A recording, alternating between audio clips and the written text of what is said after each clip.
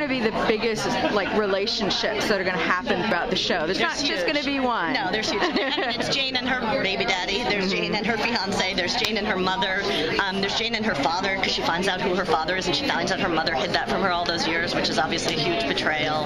Um, there's the relationship between Jane's mom and her dad, um, and their potential love story and all that kind of stuff.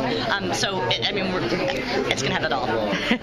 Is there one in particular that's like going to be the biggest? Uh, Jane has. I mean, it really. It's it, every episode needs like a mother-daughter something interesting to me, and every episode needs real romance where I fall in love with whichever character she's with. Yeah, great. And then timeline-wise, what are we looking at for this season? You're looking at the baby being delivered in 22. Should we get 22? Awesome. That's what I was hoping for. Yeah. So we will see a baby by the end of the year. Yes, yes, yes, That's absolutely. great. Yeah.